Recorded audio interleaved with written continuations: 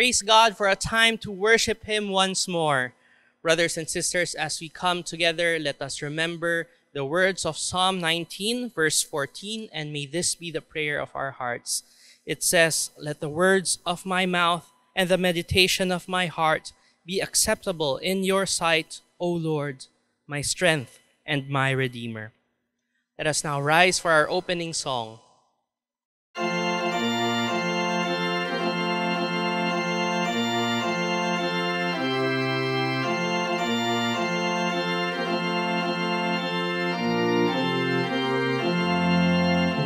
Praise thee, O God, the Son of for Jesus who.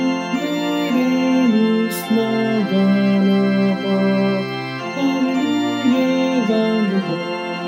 Hallelujah, amen. Hallelujah, again.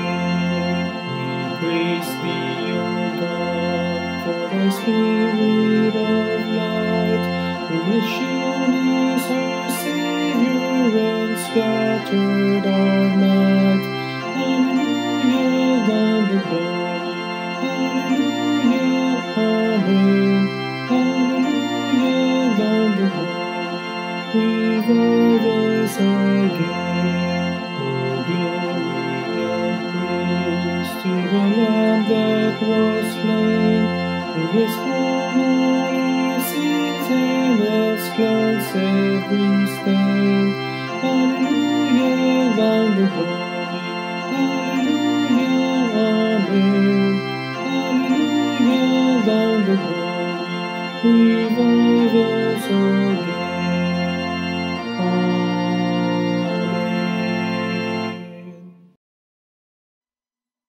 Brothers and sisters, let us now proceed to a time of confession. Just tell God the things that is in your heart, the things that you have done that you shouldn't have done, and the things that you have left undone. Let us now pray.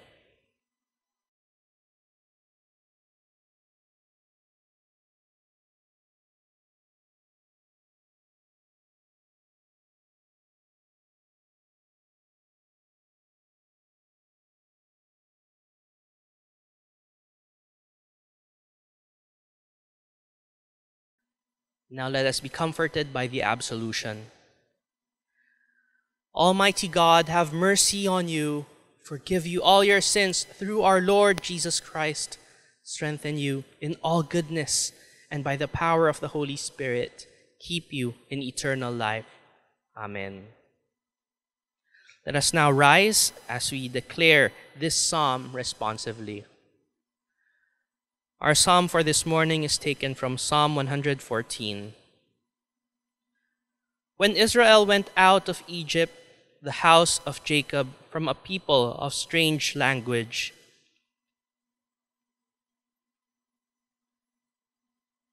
the sea saw it and fled. Jordan turned back.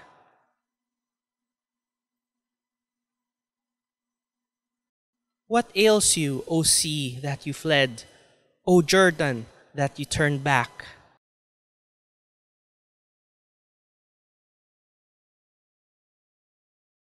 Tremble, O earth, at the presence of the Lord, at the presence of the God of Jacob.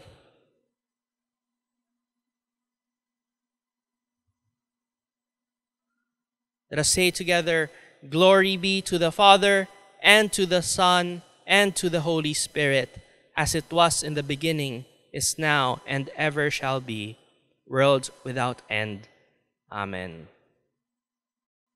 And now be seated to hear the word of God. The lesson is taken from 2 Timothy chapter 2 verses 1 to 13. You therefore, my son, be strong in the grace that is in Christ Jesus, and the things that you have heard from me among many witnesses, commit these to faithful men who will be able to teach others also. You therefore must endure hardship as a good soldier of Jesus Christ. No one engaged in warfare entangles himself with the affairs of this life, that he may please him who enlisted him as a soldier. And also, if anyone competes in athletics, he is not crowned unless he competes according to the rules. The hard-working farmer must be first to partake of the crops. Consider what I say, and may the Lord give you understanding in all things. Remember that Jesus Christ of the seed of David was raised from the dead according to my gospel, for which I suffered trouble as an evildoer, even to the point of chains. But the word of God is not chained. Therefore, I endure all things for the sake of the elect, that they also may obtain the salvation which is in Christ Jesus with eternal glory. This is a faithful saying. For if we died with him, we shall also live with him. If we endure, we shall also reign with him. If we deny him, he also will deny us. If we are faithless, he remains faithful. He cannot deny himself. The word of the Lord. Brothers and sisters, we who belong to God's family are not simply called to idly enjoy our relationship with God, but also to give others the opportunity to experience it for themselves. And so may our anthem for this morning and also our message remind us of this truth and allow us to rise strong together for Christ.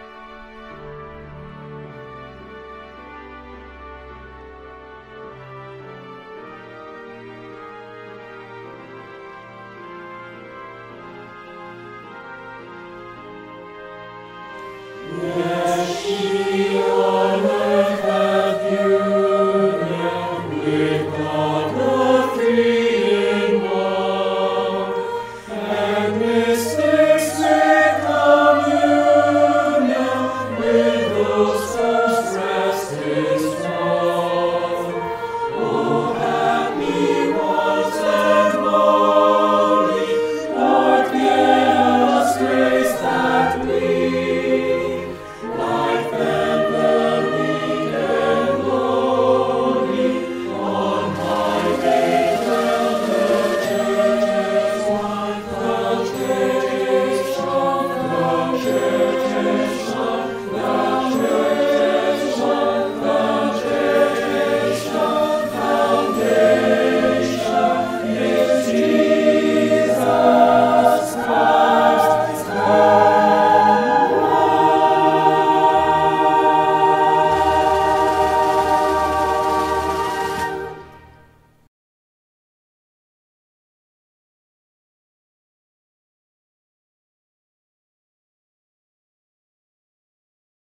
Brothers and sisters in Christ, a happy Sunday to you all.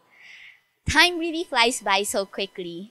It seems like just yesterday we when we were wrapping up our I Believe series, and now here we are again to wrap up our I Belong series with the last installment on the one holy Catholic and Apostolic Church. I hope that this month has been a fruitful one in helping each of us grasp the kind of church we belong to. United, bonded together, special, set apart, universal, connected. These are some of the key words that have been used so far, and we will add yet another two in defining the Apostolic Church. Now, I must confess that it took me a long time to find a description that captures the meaning of the church's apostolicity. Mainly because, one, the word apostolic may not mean anything to some people, and two, the word may mean different things to others. For example, I asked a few people what they wanted to know about the Apostolic Church, and some of them have no idea at all what it is. Then, if you search the internet, it may raise more questions than answers. Is it referring to the Apostolic Church movement that rose out of the charismatic Pentecostal church? Or is it talking about apostolic succession, the idea that our present bishops are direct successors of the original apostles, often more specifically the Apostle Peter? There are so many things to unpack with just the word apostolic, which unfortunately we don't have the space and time to do so right now. However, what we can do is put all of those aside from our minds for the meantime, because that's not how the word apostolic was meant in the creeds. Instead, we will draw the definition of apostolic based on the catechism of our own Book of Common Prayer, and of course, from the Word of God. Shall we begin? In our catechism, we ask, why is the church described as apostolic? And the answer is the church is apostolic because it continues in the teaching and fellowship of the apostles and is sent to carry out Christ's mission to all people. From this definition, let me highlight the first description, which captures the essence of our apostolicity, and that is we belong to a church that continues on, or we can say a church that presses on. Ephesians chapter 2 verses 20 to 21 tells us that having been built on the foundation of the apostles and prophets, Jesus Christ himself being the chief cornerstone, in whom the whole building being fitted together grows into a holy temple of the Lord. To be apostolic, simply put, is this. The church we belong to now is the continuation of the church that Jesus built. Even after thousands of years since Jesus ascended into heaven, the church he founded still continues on, carrying the same mission, upholding the same core beliefs, and exists for the same purpose.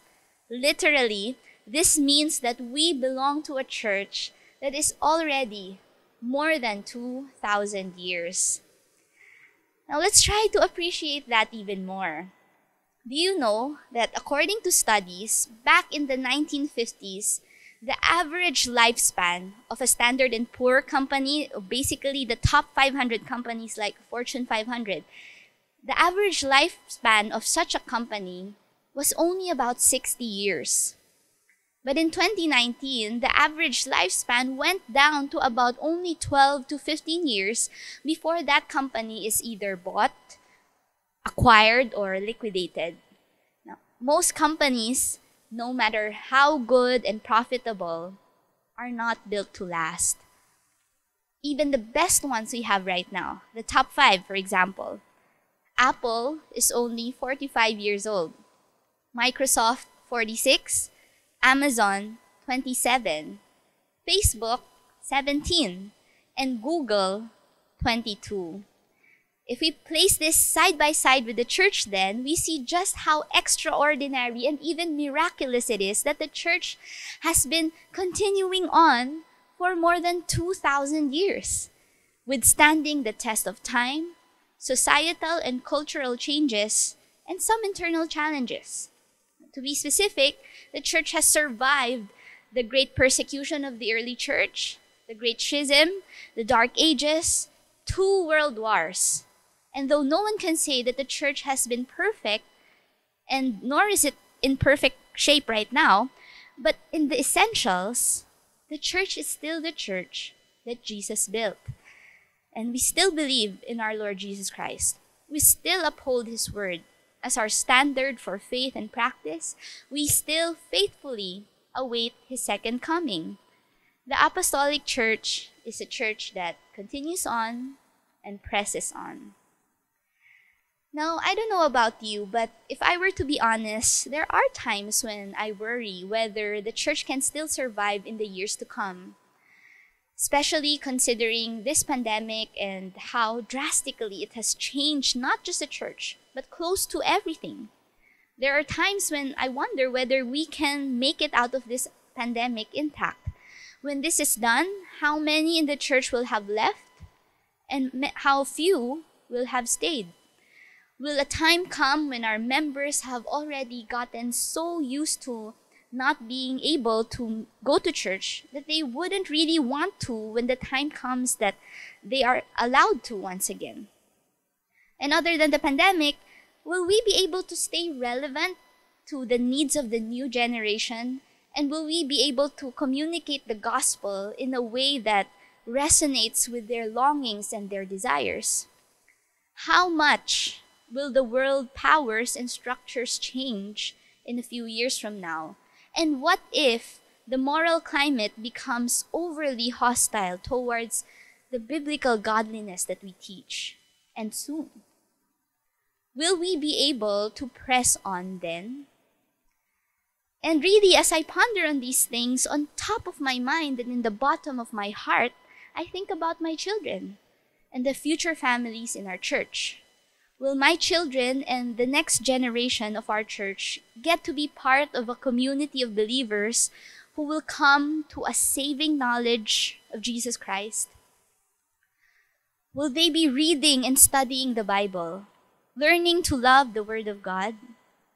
Will they be taught to surrender their lives to Jesus as their Lord and Master?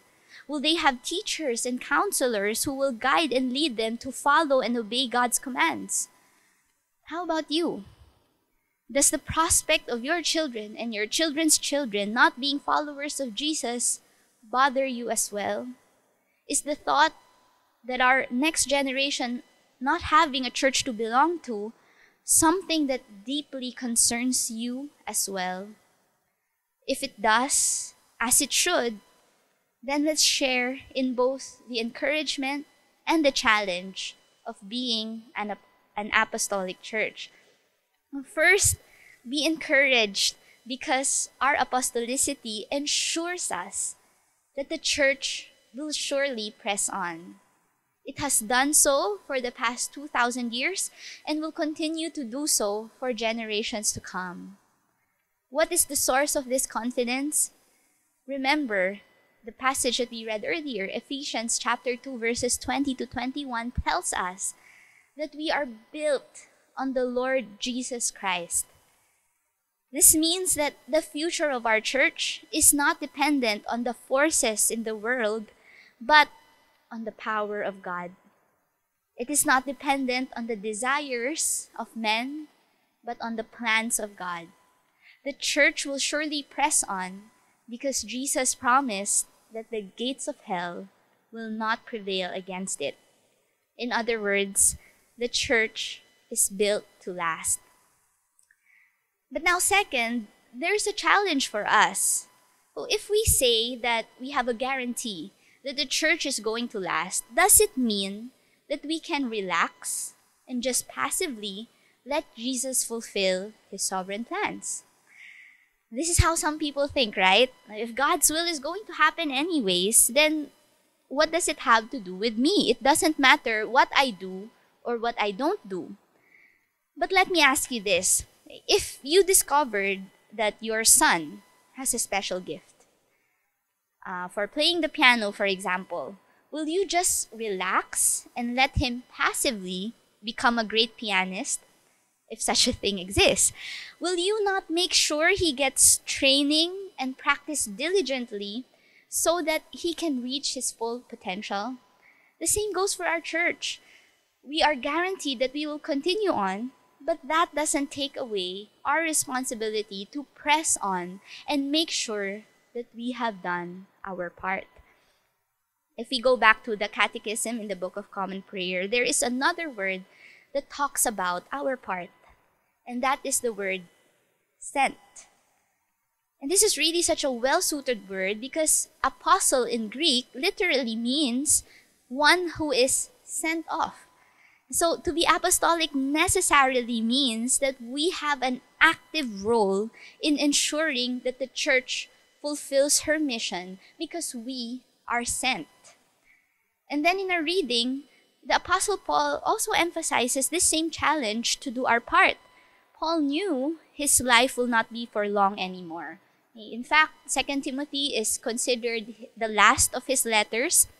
And on top of his mind and at the bottom of his heart, there is a concern for the future of the church. He needed to ensure that the gospel of Jesus will continue to be preached. And that's why he leaves this instruction with Timothy in verse 2. He says, And the things you have heard me say in the presence of many witnesses, entrust to reliable people who will also be qualified to teach others. We may call this the apostolic strategy, the means by which the church has survived up to this point was because the apostles taught faithful men to pass it on to people who will also faithfully pass it on. We can say that the church that presses on is a church that passes it on. Again, the church that presses on is a church that passes it on. I came across this while doing research on the oldest companies still operating today. And one noteworthy entry is about a, a 1,300 year old hot spring in Japan called Nishiyama Onsen Keiyunkan, the oldest running hotel in the world.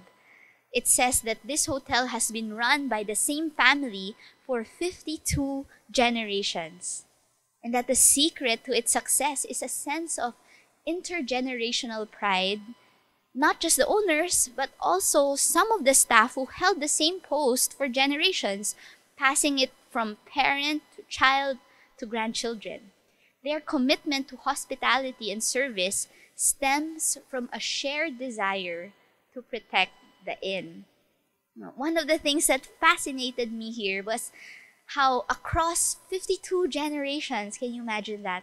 Nobody thought of abandoning the hotel for reasons such as I want to work in the city, or I want to carve out my own destiny, I want to start my own business, I don't want to take care of this old building anymore.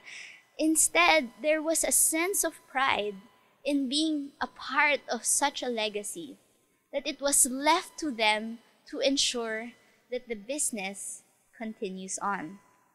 And this is what we should hear from our passage as well. No doubt there are countless reasons why we may think of giving up on the church at times. And I'm sure that each one of us will come across things we would rather pursue at one point in time. But I hope that we can see how great an honor and a privilege it is that we have been entrusted with the task of preserving the legacy, the gospel of Jesus Christ, and faithfully pass it on from generation to generation. I hope that by now all of us have a better grasp of the apostolicity of our church, a church that continues on and is sent, a church that presses on and passes it on. And if we truly comprehend these things, the natural question for us to ask right now is so what? What do we do with this information? Well, if you come across a company that has a strong corporate mission, the salvation of people and bringing hope to the world, and the company has a unique core strength that it is built on Jesus Christ. And it has a long term management plan, the apostolic strategy. The only logical next step is to invest in it, right? Now, again, let's employ a business metaphor. Do you know the difference between a company's shareholders and stakeholders? Simply put, shareholders are primarily concerned on whether or not they can earn a profit, whereas stakeholders have a vested interest in the success of an organization. For example, if you are into stocks, you can become a shareholder of big companies, right? But your primary concern is to put your money while the stock price is low and pull it out before it goes down and earn the highest profit possible. You can even say that you may look forward to the failure of a company because you can buy stocks cheap, right? But stakeholders are a company's customers, employees, suppliers, and vendors, etc.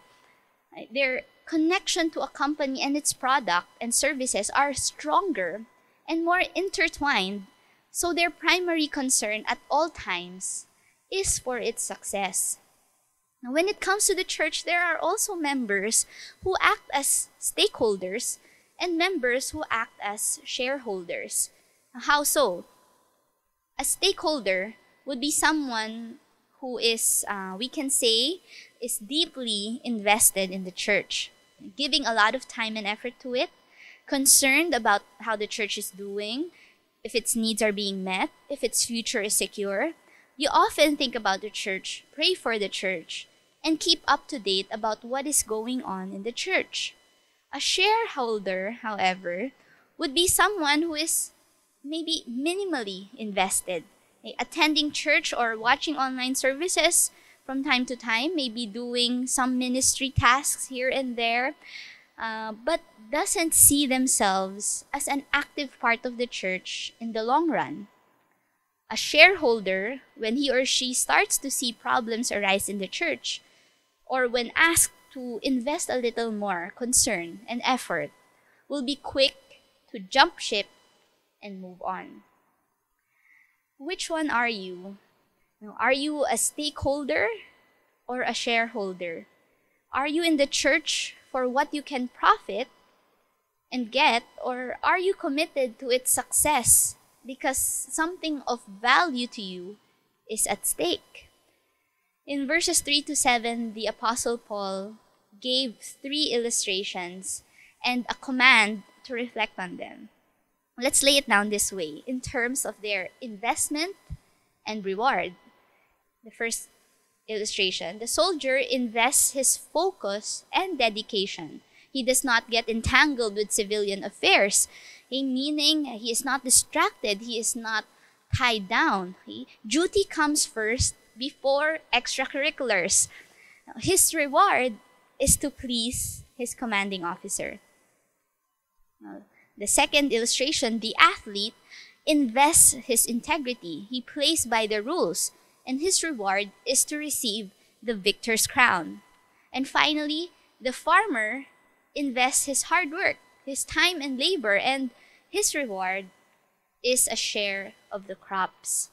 Now, what can we make of all this? This teaches us that when we put an investment, we will receive a reward. There is an interest to be earned. The soldier, the athlete, and farmer each get what they seek because they invested what was necessary to achieve it. And similarly, in verses 8 to 10, Paul shares about his own example. He invested his all, enduring suffering, even imprisonment, even the idea of death, right? But it was all worth it because his interest and reward was the gospel of Christ, the salvation of souls. What about us? This is something that is meant for you and I to reflect on and decide. Are you willing, are we willing to be a good soldier dedicated to please God, an athlete who will not succumb to shortcuts, and to be a hardworking farmer, giving the time and energy that is required. If the reward is to please God, to be a faithful servant, to and to reap many souls for Jesus, are these interests worth the investment you are being asked to make? But remember the trustworthy saying in verses 11 to 13. If we died with him, we will also live with him. If we endure, we will also reign with him.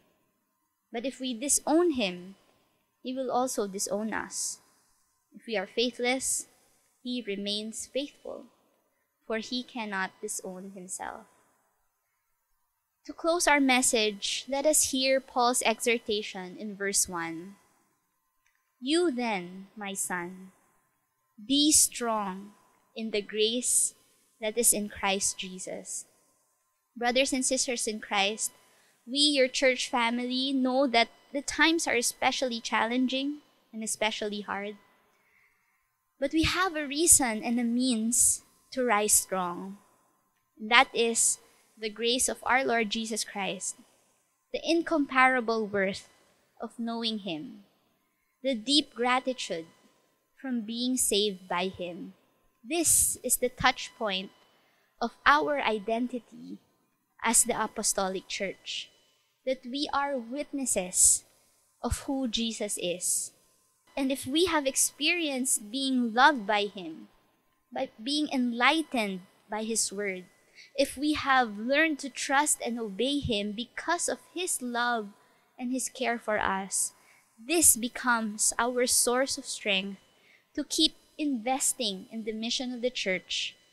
This becomes our motivation to press on and pass it on.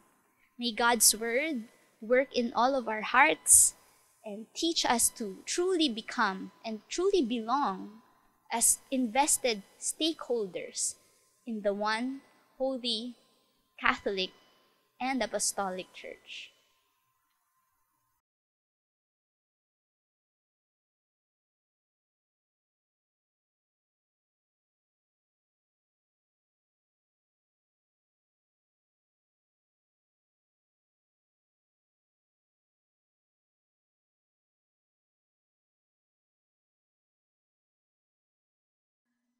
We praise God that He has placed us in this wonderful family, which is the church.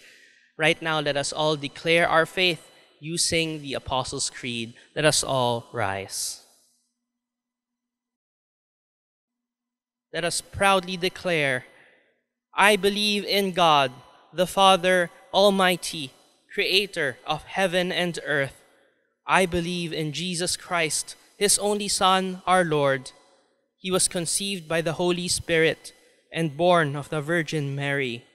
He suffered under Pontius Pilate, was crucified, died, and was buried. He descended to the dead. On the third day, he rose again from the dead. He ascended into heaven and is seated at the right hand of God the Father Almighty. From there he will come again to judge the living and the dead. I believe in the Holy Spirit the Holy Catholic Church, the communion of saints, the forgiveness of sins, the resurrection of the body, and the life everlasting. Amen.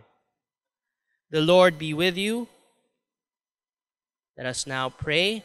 Please kneel if able, or please be seated. Let us begin with the Lord's Prayer. Our Father, who art in heaven, hallowed be thy name. Thy kingdom come, thy will be done on earth as it is in heaven. Give us this day our daily bread, and forgive us our trespasses, as we forgive those who trespass against us. And lead us not into temptation, but deliver us from evil. For thine is the kingdom, and the power, and the glory, for ever and ever. Amen. Let's continue to spend time in prayer with our God. O God, we are your church.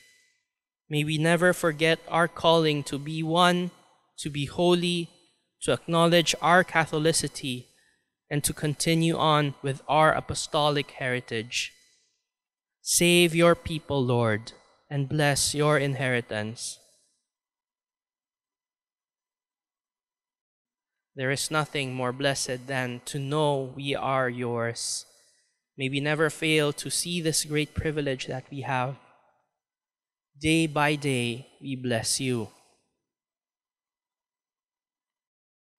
Lord, keep us from all sin today. We commit to you our special meeting today as we decide on our church's future and commit to you our plans for the coming months and the year ahead. May we ever see your guiding hand before us. Lord, show us your love and mercy. In the midst of this seemingly unending pandemic and seeing our powerlessness against sin and the powers of this world, we cry, In you, Lord, is our hope. Let us now take a moment to pray for our own needs and those of others.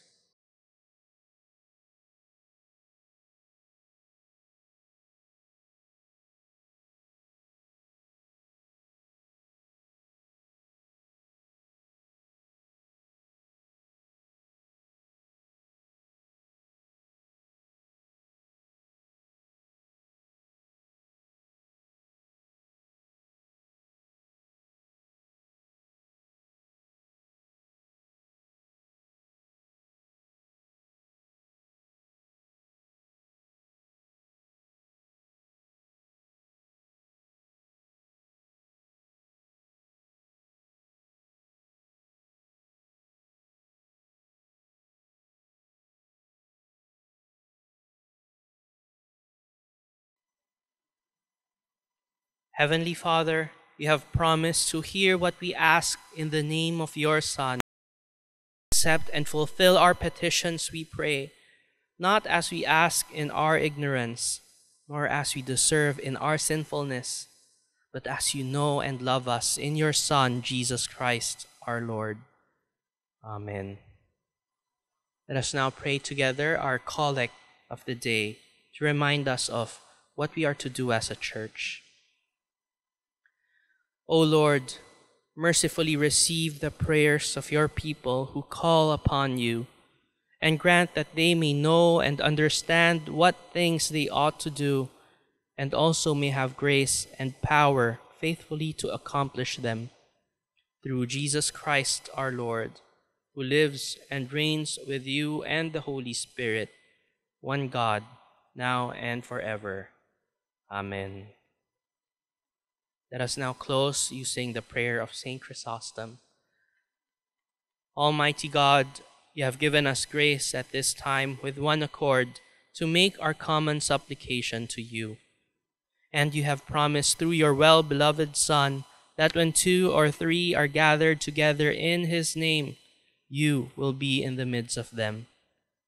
Fulfill now, O Lord, our desires and petitions as may be best for us granting us in this world knowledge of your truth, and in the age to come, life everlasting. Amen. Let us bless the Lord. And now receive this blessing. To him who, by means of his power working in us, is able to do so much more than we can ever ask for or even think of to God be the glory in the church and in Christ Jesus for all time, forever and ever. And the blessing of God Almighty, the Father, the Son, and the Holy Spirit be with you all, now and always. Amen. Please be seated for a few announcements. Brothers and sisters, for our first announcement, we would like to remind everyone about the special meeting today that's July 25 at 2 p.m. Eh, we will be voting on our constitution amendments that will affect our vestry election. So this will be via Zoom, and if you still don't have the link, please get in touch with our church office. Again, we would like to remind each one who is joining to have their own device and to make sure that you have a good internet connection. For our second announcement, brothers and sisters, with the threat of the COVID Delta variant rising in NCR, it is with great reluctance that we will be indefinitely postponing our resumption for next week. We ask for everyone to do all that you can to protect yourself and our community by taking advantage of the vaccines and being strict with the health protocols set by our government. We hope that we can prevent another spike as well and that this pandemic will end at the soonest possible time.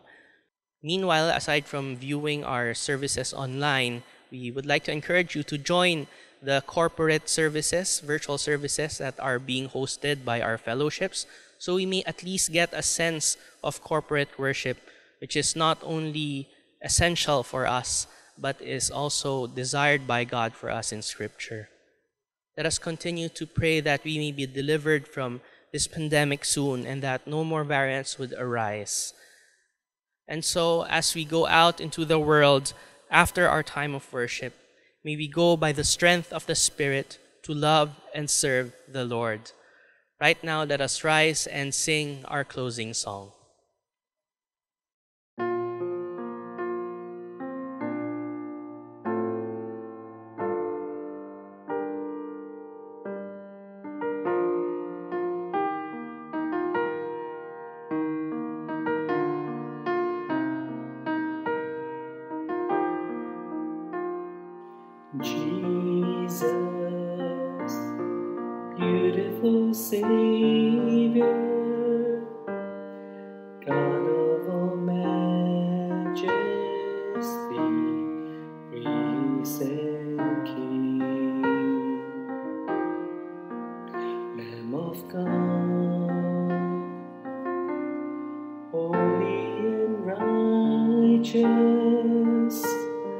Blessed Redeemer,